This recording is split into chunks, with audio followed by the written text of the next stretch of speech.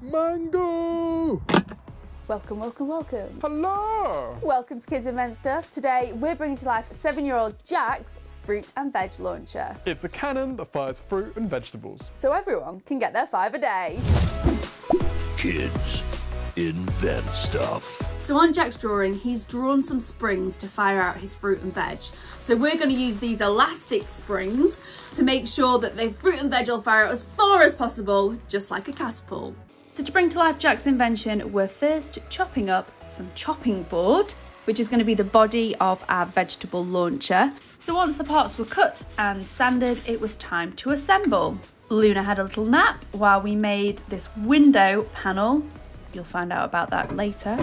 And then it was time to think about how we were going to trigger this. So to trigger Jack's vegetable launcher, we thought we might have a go at using this old litter picker, and specifically the trigger mechanism from it, um, so that when we pull this trigger, it will set off our kind of catapult mechanism, releasing all of the kind of stored energy we've got, flinging our vegetables. So this runs off a cable, so we're hoping to use that cable to pull our other trigger to set off the launcher.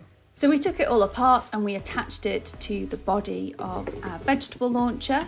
So the two main things that we need is the box to hold our trigger mechanism and then attach to it a pipe that we can load our vegetables into.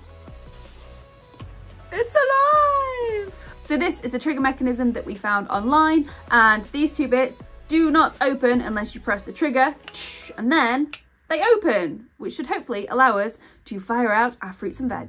Once we tested our trigger worked, it was time to do the final assembly. If you know of any kids with ideas we should bring to life, send them to our website. We are doing some very exact engineering on how long um, this kind of pulley piece of string should be. And uh, it feels like deja vu, Shawn. We, have just done this. Um, Ruth said, shouldn't that have a double knot in that handle? And I went, no, it doesn't need a double knot. It won't. It literally said, it won't pull through as it pulled, as it pulled through. through. so now we're double knotting. So and I wish I'd been filming the first time because if there was ever a moment. that's safer now. We will triple knot it. Yeah, triple knot it to be safe because it's weird, Shawn. You can never have enough knots in the end. Beautiful. And then when you pull it back and it fires, you don't lose the bit that fires. Okay, so we put these little brackets onto Jack's vegetable launcher, and this one is going to hold a laser dot. Laser.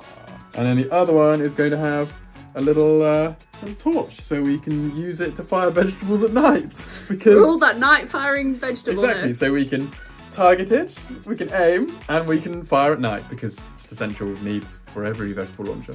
So you're going to want to see this. This is our trigger mechanism. We, we like it so much we've given it its own little window. We're going to watch this little bead. This bead's important. So as Shawn pulls through, through, closes, woohoo! And now that little bead is stuck and a little bit of rubber is pulled back. Then when the trigger is pressed, fires! Ta-da!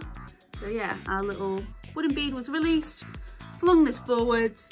This bit stops it from flying off. Look at it. This is why I put a window in it. it's mesmerising. And then all that was left to do was to buy some fruit and veg to launch from our vegetable launcher. Gotta get that five a day.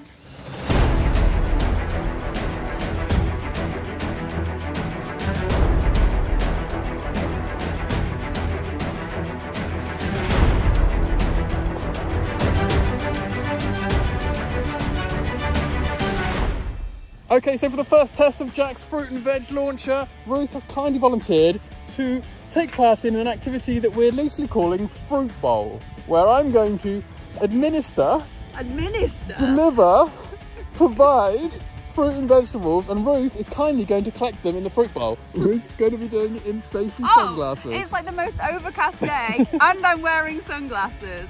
What could possibly go wrong? Grapefruit! Grapefruit! Okay. Video editing Shawn here. Please be aware that fruit and vegetables were harmed in the filming of this video, but none of them were wasted because we ate them all. Eat your veggies, people. First fruit in the bowl, although it has broken. Pepper time. Go. that one totally got smushed in the fruit bowl. Do you know what? Multiple parts. Looks delicious. Mmm. Mango! Oh! First one we've dropped. Tomato!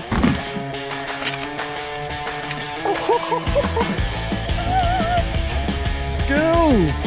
Miss Amos has the fruit catching skills, not the bowl. You No, the bowl. haven't got the bowl for the job. Bowl. No. You can have the fruit box. Thanks. Cabbage! Yes, yes, yes. Right, next. Is it gonna fit? Oh! Just about fits. Broccoli! This, we should have gone with a box to start with. The box is so much easier. I think vegetables taste better when they float through the air. Pear!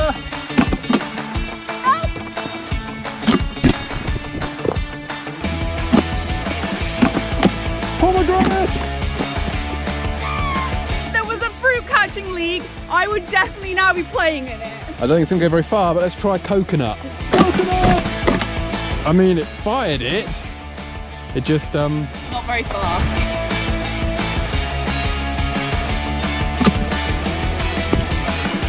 So Luna is a big fan of apples, as you can tell.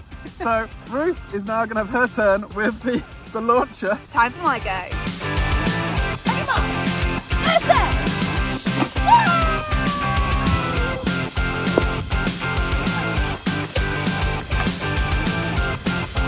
Luna now knows what to expect, so she's patiently waiting. Yes, it!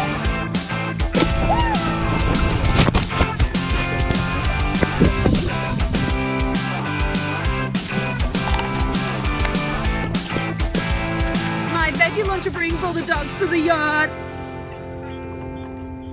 Jack, we love your invention. This is great. It makes me want to eat all my fruit and veg. All fruit and vegetables from this day henceforth should be delivered via launcher. If you know of any kids whose invention should be brought to life, send them to our website, get them to upload a drawing, and who knows, like Jack, we can bring it to life. More inventions coming soon. See you then. Bye.